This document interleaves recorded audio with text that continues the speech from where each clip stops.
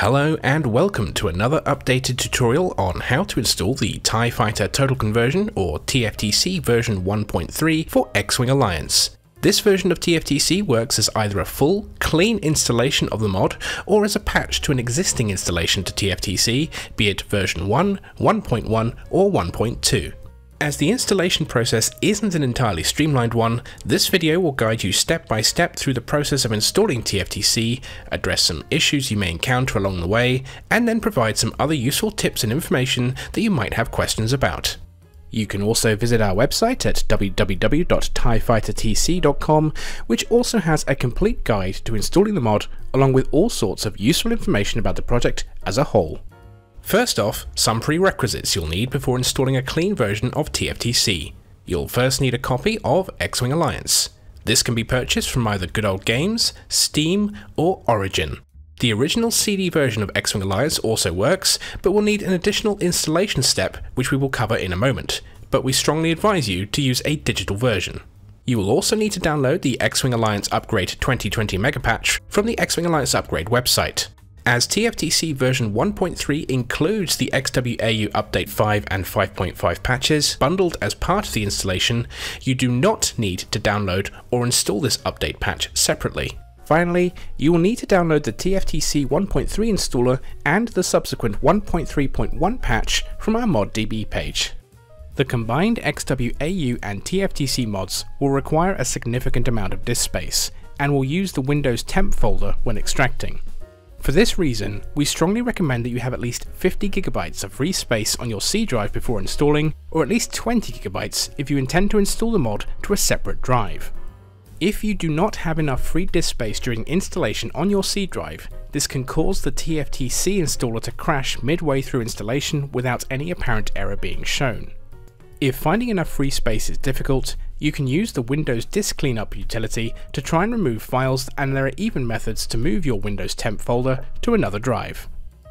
Alright then, prerequisites out of the way. First off, we'll go through the process of a full, clean installation of TFTC. If you are just wanting to patch TFTC, please skip ahead to the appropriate timestamp in this video, which is shown in the video description. So let's first proceed to make a new installation of X-Wing Alliance. Be sure to install the game outside of any Windows protected folders such as program files or any other folder that may have special write or read permissions. Once your installation is complete, we highly recommend you then make a copy of the X-Wing Alliance folder afterwards. As there is no DRM protection on this game, you can make a copy and put it anywhere you like and it will still run just fine. One final thing of note as we mentioned earlier, the CD version of X-Wing Alliance requires an additional installation step. It will be necessary after installing the game to copy the contents of the WAVE folder from both Disk 1 and Disk 2 to your installation. If you do not do this, you will encounter an error when attempting to install the mod regarding missing files and the installation will fail. If you are installing the game from Steam, we recommend you start the game at least once before proceeding any further so that any necessary first time installation files are performed by Steam when running. Okay, great, the game is installed. Next, it's time to install the XWAU mod. Remember that as a version 1.3 of TFTC, it is not necessary to download and install the Update 5 or 5.5 patch separately, as it's included as part of the TFTC 1.3 installation. So all you need to do next is download the main XWAU 2020 Megapatch from the XWAU website. Once you have it, install the Megapatch, follow its instructions, and make sure you select the correct install path to your X-Wing Alliance folder. It will take a few moments to install and will then be complete. In the future, the XWAU team will release further update patches or mega patches that may not be compatible with 1.3 of TFTC. As such, the TFTC team will release any patches as needed to accommodate for new changes to ensure compatibility. Awesome! You've now got X-Wing Alliance with the XWAU mod installed. Now we're finally ready to install TFTC. So if you haven't already, download the TFTC version 1.3 and also the 1.3.2 patch from our ModDB page, maybe make a cup of tea while you wait for the download, and then once you have it, extract the contents of the zip file to a folder of your choosing, and then proceed to run the installer and follow its instructions. Make sure you've selected the correct install path that you previously installed X-Wing Alliance and XWAU to. It is critical from this point you pay close attention depending if you are installing the full mod or just want to patch TFTC from an existing installation.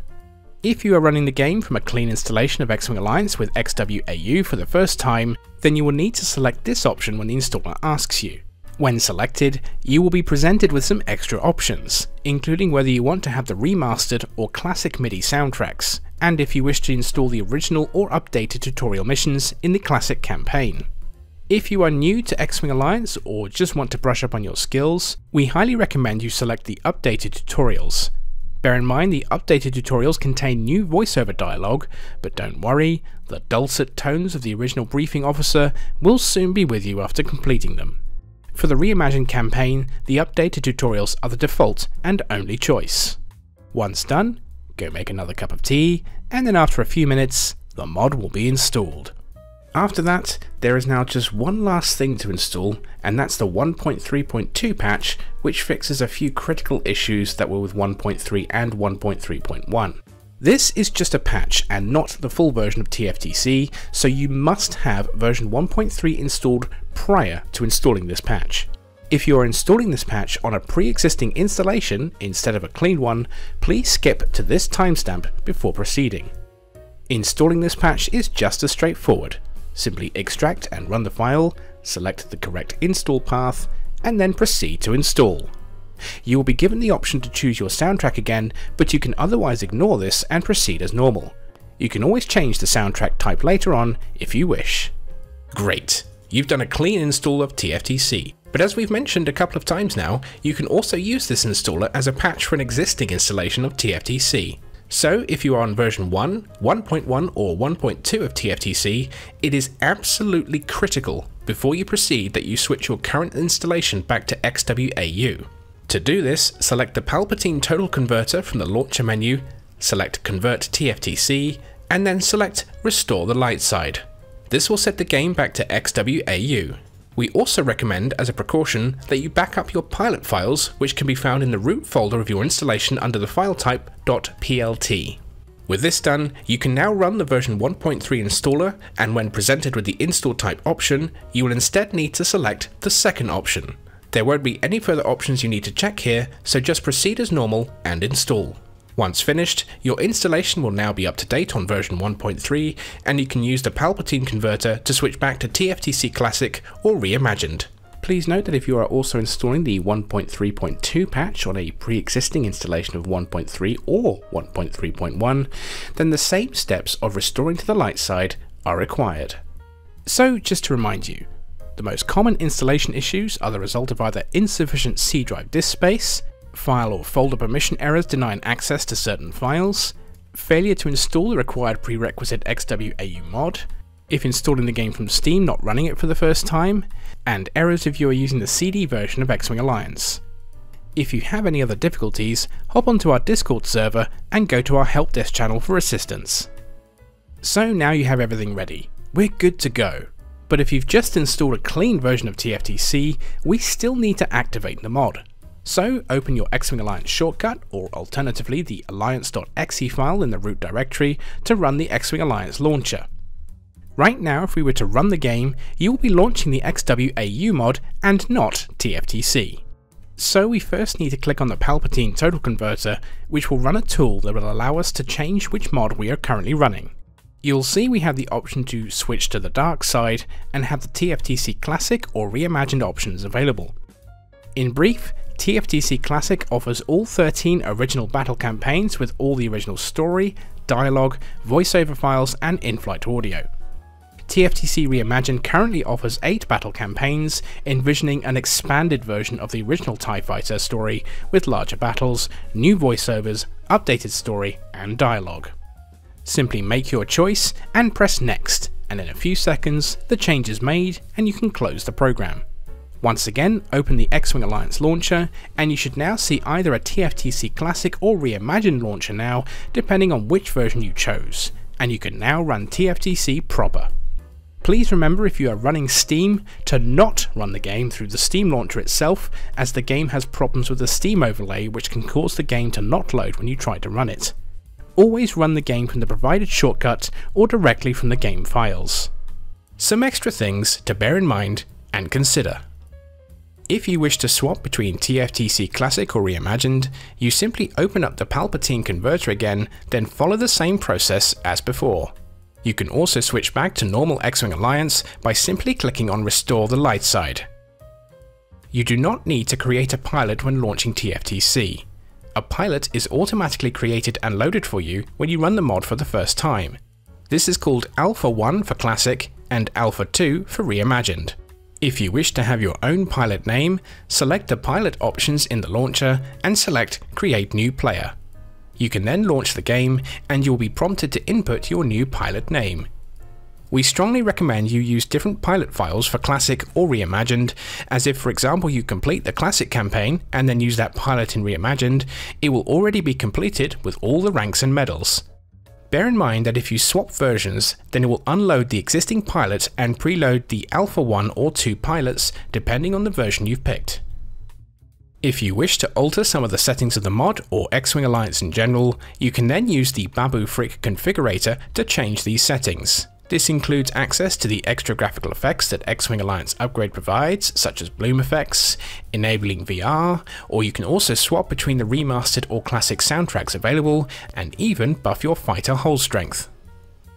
X-Wing Alliance Upgrade and TFTC support a wide variety of different joystick and controllers, but there can still be some issues in getting these to work properly, particularly with various throttle and axis binds. If you wish to tweak your joystick or controller settings, the X-Wing Alliance upgrade mod contains a community-built configurator which allows more modern HOTAS joystick and controller support and configuration. We have collected together several pre-configured profiles for you on a variety of joysticks and controllers to download. The link for this repository is in the description of this video. One of the more common issues is for the player to find themselves endlessly spinning or rolling about. First, be sure to disable the rudder in the in-game menu, which can be accessed by pressing the escape button, and then in the joystick configurator, you can also modify the axis controls here as well, or even bind an axis to a non-existent controller ID in the configurator to stop some rolling or spinning issues.